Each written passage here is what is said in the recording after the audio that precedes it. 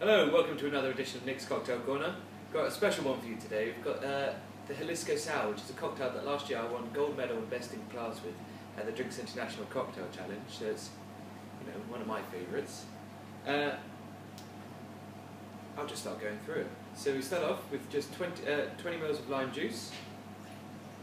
Got that straight in. So we've got Cartron apricot brandy. So you're going to do 35 mils of this. This is quite a strong cocktail, so make sure you don't drink too many. It's just 35 mils. 35 mils of the Centinela Anejo, one of my personal favourite tequilas. There we are.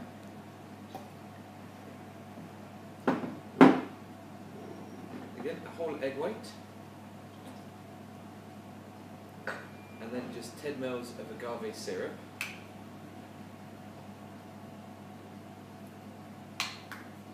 And then we're just going to give that shake.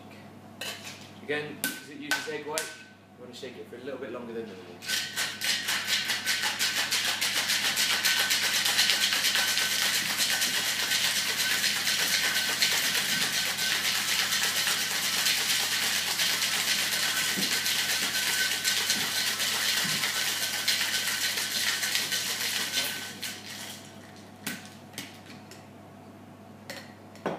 And then just fine strain that into your glass. There we are. So you can see from the texture, it's Okay. quite creamy now.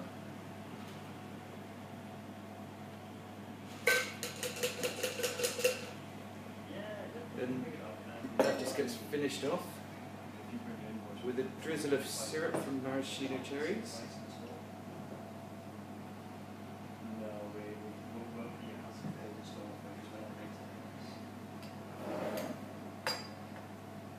The actual cherries themselves.